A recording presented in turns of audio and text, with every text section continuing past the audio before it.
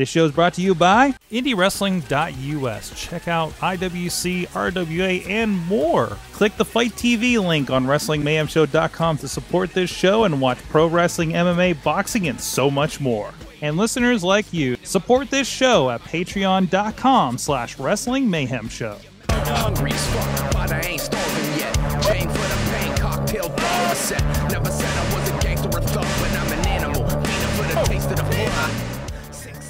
Hey guys, it's the Indie Mayhem Show, the show where we chat with people in and around indie wrestling. I'm Mike Sorg at Sorgatron on the Twitter, a video producer around it and involved with IndieWrestling.us. Uh, when we're back at it, of course, in the new studio here in uh, the Beechview neighborhood of Pittsburgh. Uh, and uh, we talk about that on the Patreon and on the other Wrestling Mayhem show all the time when we have furniture moving that's distracting me.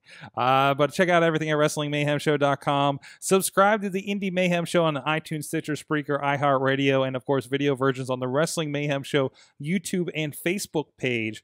Of course, drop us a line to let us know any any indie wrestling you think we should check out, anybody you think we should have on the show at goodtimes at wrestlingmayhemshow.com or 412-206-WMS0.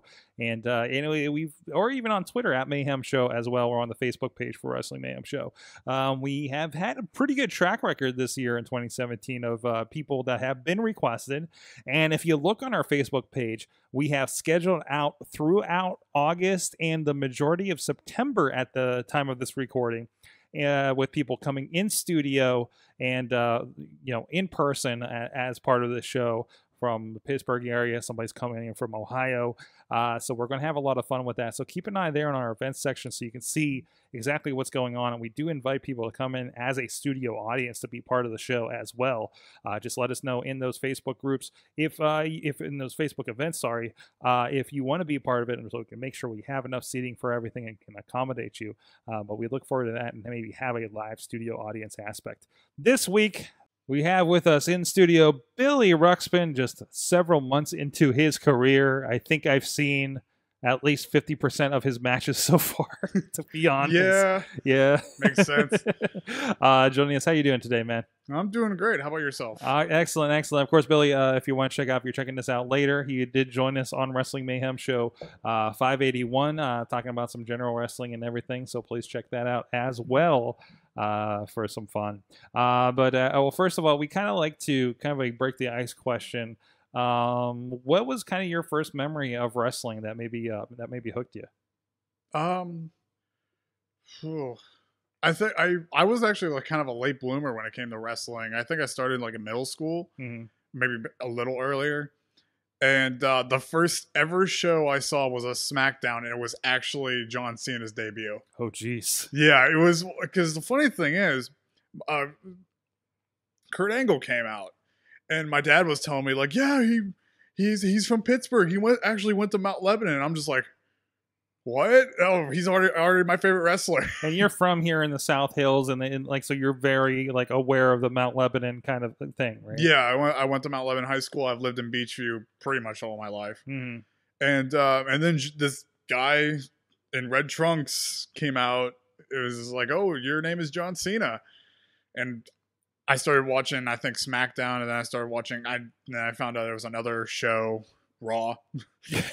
Something called Monday Night Raw. Yeah, You yeah. might have heard of it. I've watched I've watched SmackDown before Raw did, and yeah, I got hooked on it. And then like later on in college, I started watching like the British wrestling, and um, and the funny thing is, my first indie show was actually the first show I had to help when I was training.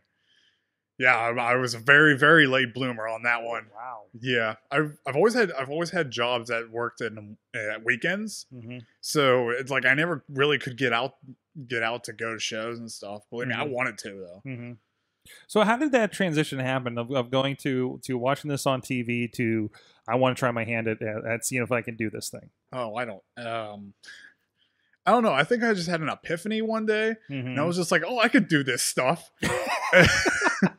Oh, sure. the the the deadly day that, has that has done in so many uh, uh, attempted pro wrestlers. yeah, um I think it was actually like 3 years ago I was thinking about training but I didn't really have the money for it Mhm. at the time.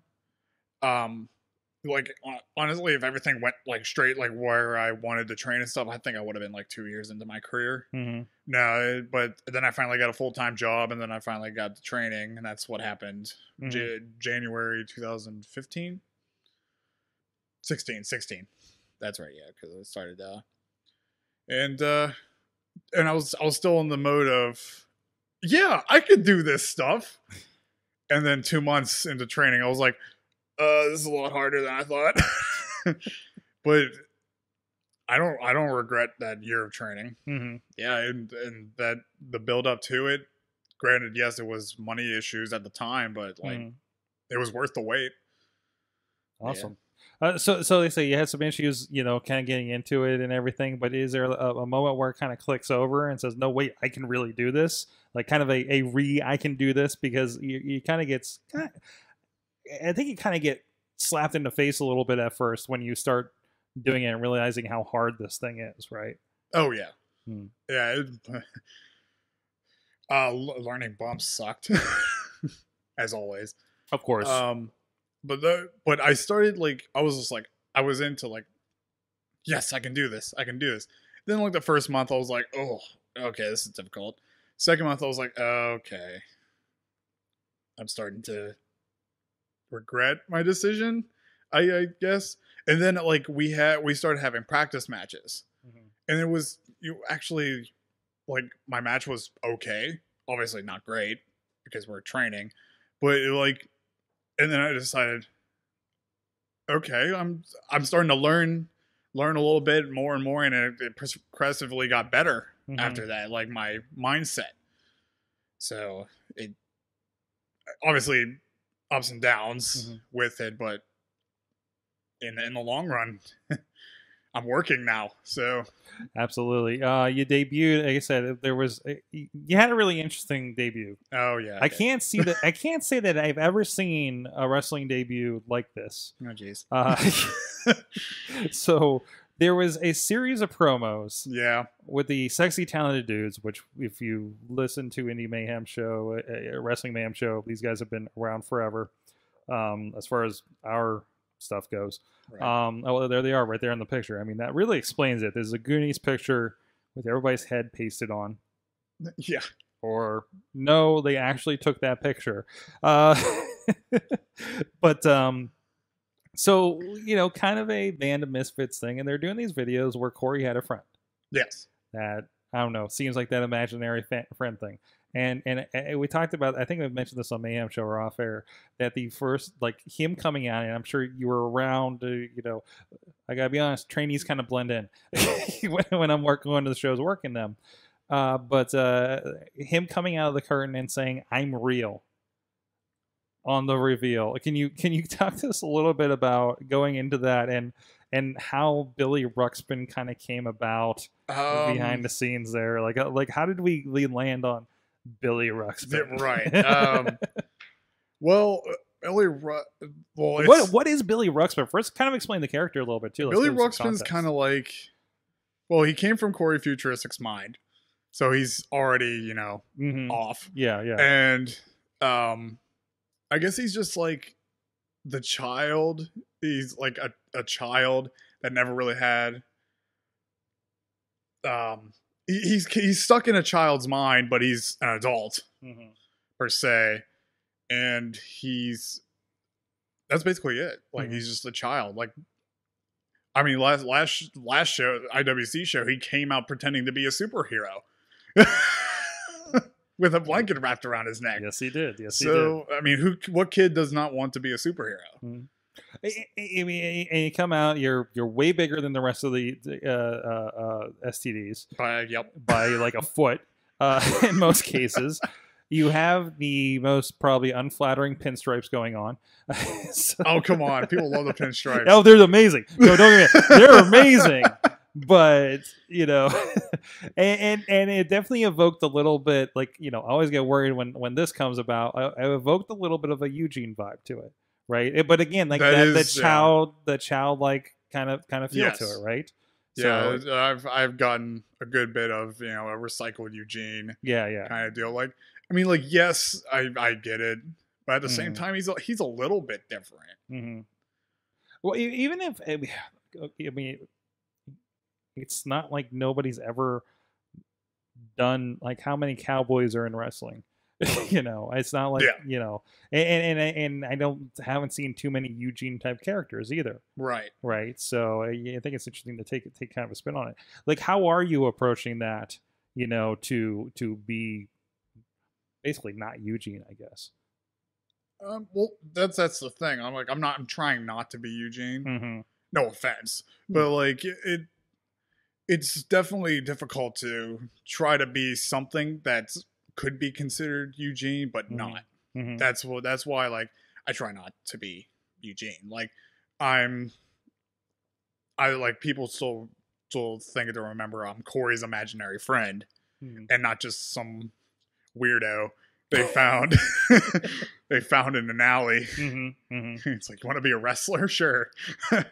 so like you- it is difficult, especially I'm only five months in. It's especially it's difficult to try not to be somebody, and that's that's why I'm that's why I'm trying not to be is Eugene, but at the same time I want to be Billy Ruxpin. I want people to remember. Oh yeah, that's Billy Ruxpin's thing. Which sticks out in a world where everybody wants to be The Rock, so or CM Punk or something, right? So, um, I, I I think as I mentioned earlier, i i you have this interesting style that seemed like I, I called it the Interesting. the wrestling style, the wrestling version of um, um, uh, Drunken Ninja Master, uh, Yes, where you're actually a lot better. like you you a lot better than I stated before, or or, or Oh, I didn't hear you say it before. Oh, okay. good uh because you you kind of have this like stumbling off balance look to when you're out there uh, and then you know crisp when you pull a move off like you i think you were talking about how when you take pictures because the way you move out there like it's like the most like I turned out to be like clay.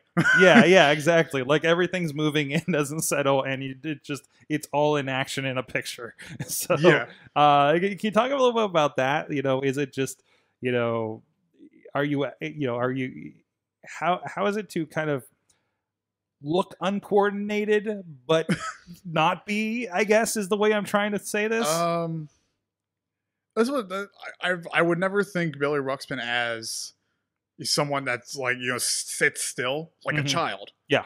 So you think like oh you do you just see him like flailing around dancing you know doing something with his hands and but when it comes to it when it comes to it I guess you just actually I can't really explain the Chris part.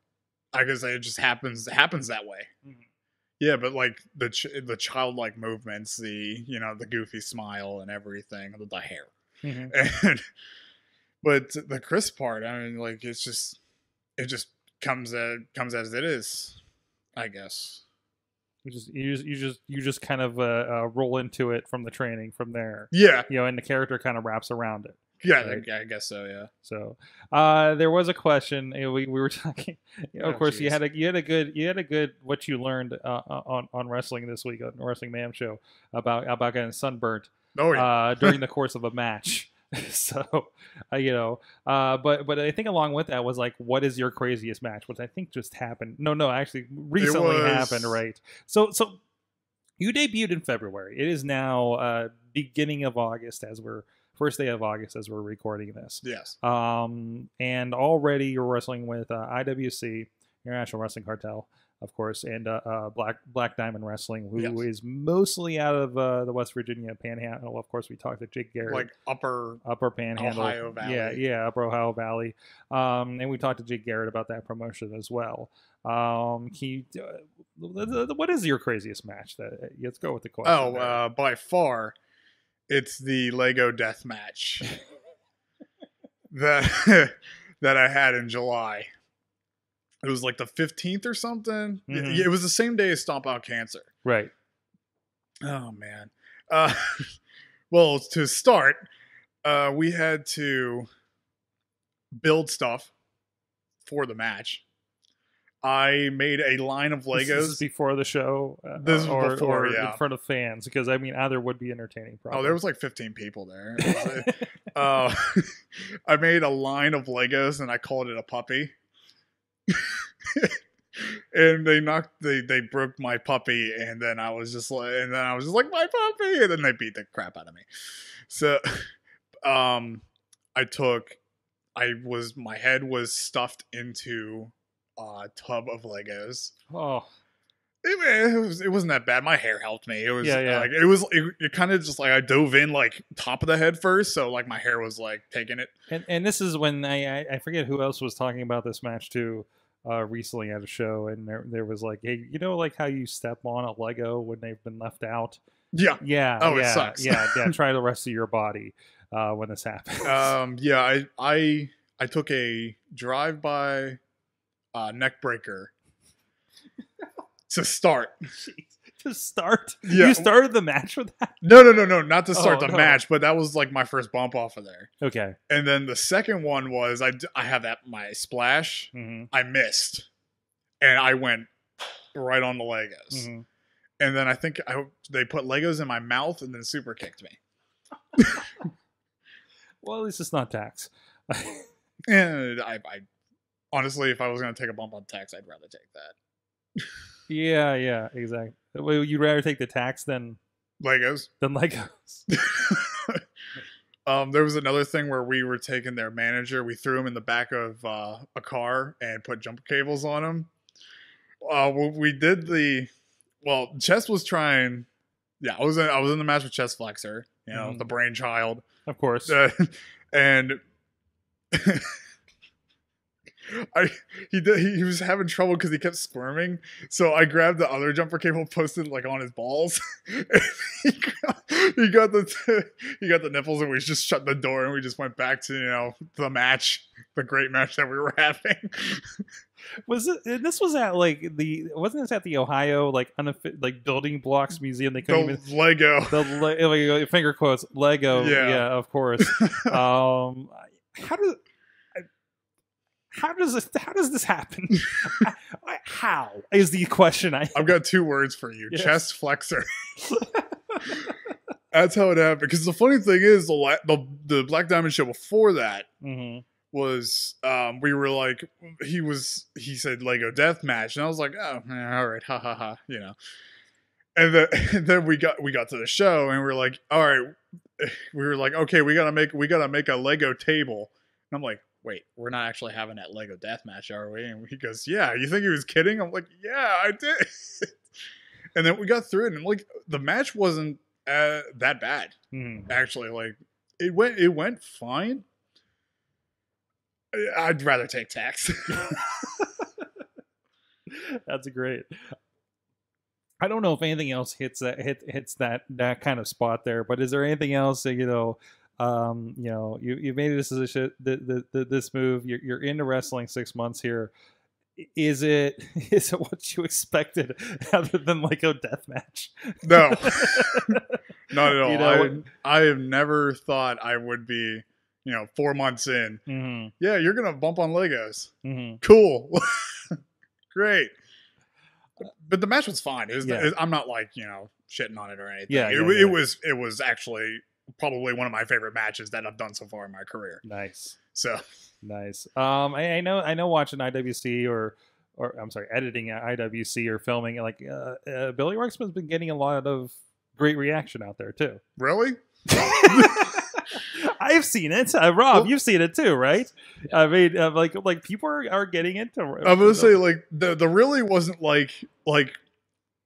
Uh, I mean, like I am surprised by that, but yeah, I'm happy yeah, about about that too. I'm not like, "What- are you serious, people? yeah. It's, it's not Yeah, that really. It's like it's like I'm like really wow, that's awesome, good. I mean, I think the jokes are going over well and everything. So like, it's it's a nice it's a nice addition to the show, you know, nice. because you got. wait, what was that? I was worried. You were worried. because I'm a warrior. That's my because the STDs. I mean, we're talking about IWC, which like just had Adam Cole and Jonathan Gresham, Right. And then there's the STDs. Yeah, Like they have their position on the show. Yeah, right? And and like they kind of break that up a little bit. it was actually um considering I've been training for a whole year hmm and finally having a match in Mhm. court time hmm where you where I've been most. hmm It was actually pretty cool because technically it's the home of Right. IWC. right. and it was actually it was like it was almost surreal because like I've I've been there 10 11 times, you know, being under the staff shirt. And to be in the front of the home crowd, it was scary and also like surreal at the same time because I wa- I performed in front of the home crowd. A bunch of my friends were there and everything. Like this one guy, this one guy, his name is his name is Chris. He uh he was at my debut and he I remember on the DVD I was watching and he goes, Deep Billy. And I'm like, oh Christ. oh man. this is gonna start. That's right because you've done you've done like Clearfield. You've done. Did you do Meadville? Battle Royal. I I did the the pre-show battle royal Mhm, and then I ran out to help chest. mhm.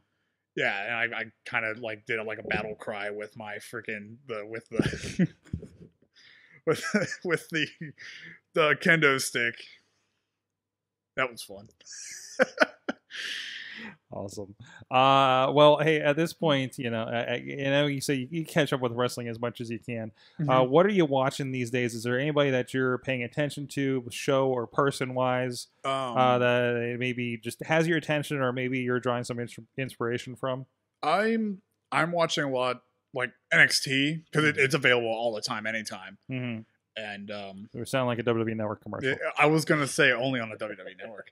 Um, I was I'm watching a lot of British wrestling, Mhm. like WCPW Progress, uh, Rev Pro. I've I've always liked the British style of Mhm. wrestling, which is it's like the perfect amount of strong style, technical, and comedic, Okay. which I, I like. I was gonna say how much of that kind of comes across. Like, do you do you do you feel like your character is kind of your version of a Jack Gallagher kind of situation, Oh, or No, least he looks suave. I look like a like a hot mess. all right, all no, right. no, no, no problems with Keith Hot. I, I was I was trying to figure out how to bridge that over there, but uh, isn't that his splash name? Hot, I think it is. Mess, Yeah. or Keith Hot. Uh, but uh, awesome. Uh, but but the, you you do see a lot of like that British like kind of crossover thing being being a lot of what you try to bring in, or It's something I do want to learn Mhm. in like my future in the future. Mhm. I like I actually do hopefully in a year or two maybe I do plan on trying to get to Progress's dojo Mhm. and learn the British style of wrestling. Good. Yeah, and uh yeah, that's that's pretty much it. Like You're not gonna I, go lucha libre with uh, DJ Z or anything like that. Uh, I mean like a couple things here and there lucha libre I would like to learn. Not no springboard anything. because because that was just basically me. Like I'll jump and then I'll like spring off of my stomach and then fall. it would just it would just be awful. it would be great to see Billy Ruxpin trying lucha libre though. Ugh. At least the attempt by by by Billy Ruxpin, Yeah, uh, at- at the very least. I mean I could have. I wore a wrestling mask in Clearfield. You did, you did. No one knew it was me. No idea, no idea. Um, what you know, this part of your career, what is the best and the worst thing about indie wrestling? Oh. The best is seeing different uh, the different gimmicks and people other than because I know there's people that just watch WWE Mm-hmm. and it's just them. Yeah. I I like seeing different people. Uh, and different like tries to be like, oh yeah, I remember him from this show, or I remember him from this show. Like I said, I'm I'm relatively new to the indie scene as a person, Mm-hmm. so I haven't really been able to go to indie shows when I when I was younger. The worst, hmm. I, I guess the worst is like the fans. I guess compare you to a W like a former WWE star or a current one, and I want I and this is my thing. I want to be remembered as you know Billy Ruxpin, not Eugene. Mm. No, again, no offense to Eugene. Right, right, He was right. he was great when he was in WWE, but I want to be remembered as my own thing. And I just think like so it's not it's not all fans. It's just some fans just ca- compare the indie guys to um, WWE people. And And that's I mean, across- and- and, and not even just your character. That's across the board. yeah, it's across They're, the board. And like, some- well, he's no Rock. Well, he's no Dean Ambrose. He's no this guy. right and like i understand that could that could be taken as a compliment Mm. because because obviously they're the best of the best or in the Right. wwe and everything but at the same time you still want to be your own thing Mhm. remembered as you not someone else so Absolutely. All right. So, um, of course, show up with IWC. Where else? Where, at this point, where can people generally find you, uh, promotion wise and online? um what like social media or- Social media and like what, where, who you're wrestling with in the future or anything like that you want to throw out there. um well social media it's billy ruxpin on twitter instagram and facebook. Mhm. it's all the same thing which is good that no one else has my name. Uh oh i actually have a funny story. There's actually a bunny on instagram called billy ruxpin and there's more pictures of the bunny uh, than me wait, wait, wait, like a real, a real bunny? like a bunny like an actual rabbit Oh wow. because i typed in it was a hashtag billy ruxpin Yeah. and then it was just like picture of me and then bunny bunny bunny bunny bunny bunny bunny i'm like oh my god That needs to be worked in somewhere. no yeah i'm like i'm not a rabbit you could have a rabbit mascot. i could oh, Think, think the British Uh, Bulldogs with Matilda. Adam rose Adam. Okay, there's that. Wait, Billy Ruxpin could be an ad, like a part of the uh, uh, Rosebuds. he could He could Yeah. have very well have been like you. c- you that's there's a storyline right there. You know, you're like the rejected Rosebud or something like that. You know, Yeah, it's like especially you see me right there, and it's just like a little blip of somebody that you can't really see. especially especially if. Especially if, like, you know, that now we have to get Adam Rose at a Night of the Superstars just to do this. Uh, but- Do you remember him? You remember? He's still doing the Adam Rose thing. I know out in the Indies. So. Oh, really? Uh, he was on uh, Colt Cabana's podcast like a month or two ago, Oh, okay. uh, talking about probably a little longer actually. Um, but I guess so. But uh, yeah, uh, what, what what is? We got a message from producer Missy, imaginary friend with the imaginary friend bunny. oh God. There you go. And it goes deeper down the rabbit hole. Um, Uh, puns. Hey, you can tell, check out matches with Billy Ruxpin over on indiewrestling.us. And I was trying to remember, you're not part of the Stomp Out Cancer pre-show match, I don't think, right? No, I was I I wanted to go, That's right. uh, but I had to right. Oh, it was, it was right after the Lego death match. Yeah. I, I had to go to work. I had to go to work. I was sore. It was it was awful. Oh no. Uh, but go check him out. It, it's a, a fun time whenever he's on the show, and uh, I, I, I'm always happy when I see him on the car. I was like, we're gonna have Billy on here. You know, we're gonna do, we're gonna have we're gonna have a really fun moment on here with the the STDs and and Billy Ruxpin. So thank you so much for joining us here on Indie Mayhem Show, sir. No, no problem. Thank you very much for having me. All right. And of course, you guys can check out everything WrestlingMayhemShow.com. Subscribe to the show and keep an eye on the Facebook events for when we have uh, people coming in all throughout August and September here. And uh, a lot of great names from the area. We got a really high praise from Marcus Mann about this being the killer lineup that we've uh, we've pulled together here. Uh, just the up and comers, uh, past, present, and future of uh, wrestling in the geez, within probably 400 miles, I guess, uh, of where we're at here in Pittsburgh. So go check it out. Thank you everybody for that's been supporting the show, sending us a lot of good vibes about what we've been doing with the show and the guests that we've had on in the past uh, uh, over the past year. Over the past years, really, and uh, and thank you everybody that's been a part of this. Uh, we'll see you guys next time. Until then, make sure you support indie wrestling.